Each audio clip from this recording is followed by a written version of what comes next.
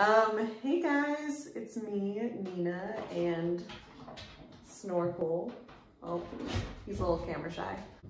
Today, I'm gonna show you how to write and send a letter. So something you guys might not know about me is that I love writing letters. I actually, these are all of the letters that I've received in the last like couple of years. And the reason why I love writing letters is because obviously it's a way for me to keep in touch with people, but it's also a space where I can let people know how I am feeling. So we have a routine at Girls Inc. where every day we do a check-in about how we're feeling, but often you all will come up to us outside of our group check-ins just to say that you need to talk to someone about how you're feeling, you want to check in with a friend, you want to check in with an adult, and in case I haven't said it before, I'm really proud of you guys every time that you make the choice to do that. And right now, we can't be together in person at Girls Inc. every single day like we're used to. But it is really important that while you're staying home, you find other ways to check in with people about how you're feeling. And I want you all to think about why it's important to talk to people about our feelings. How does it make you feel when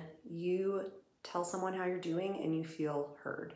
And today we are going to let someone know how we're doing by writing them a letter. I've been writing a lot of letters since I've been staying home. I have like a whole list of people that I write to who have told me that they're here to support me, who I feel comfortable telling how I'm feeling. Things have been weird and I need to talk to people about it. So just like I have my list of people that I'm going to be talking to about how I'm feeling, I want to challenge all of you to come up with a list of people that you would feel comfortable talking to right now. It could be your friends from Girls Inc., your friends from school, your extended family. You can even write a letter to your dog. No matter who you decide to send your letter to, let's go ahead and get started.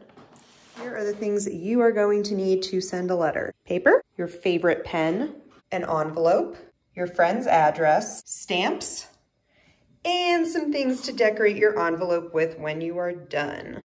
You're always going to start your letters by writing Dear whoever the name of the person you are writing to in the top left corner. In this case, I'm writing to Girls Inc.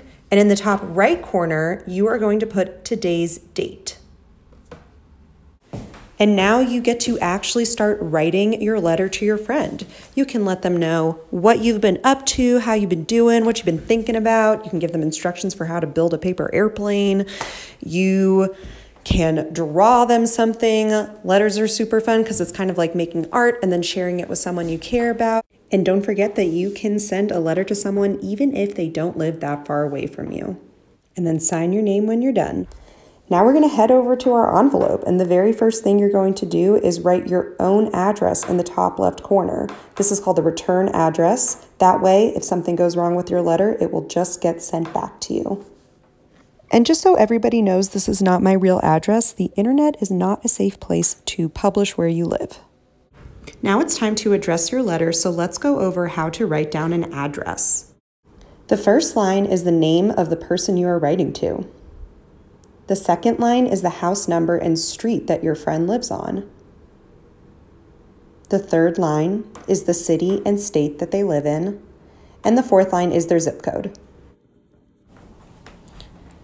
A good way of getting one of your friend's addresses, if you don't already have it, is by asking one of your parents to reach out to one of theirs. Let them know you want to write your friend a letter and that you won't share their address with others because you know it's personal information.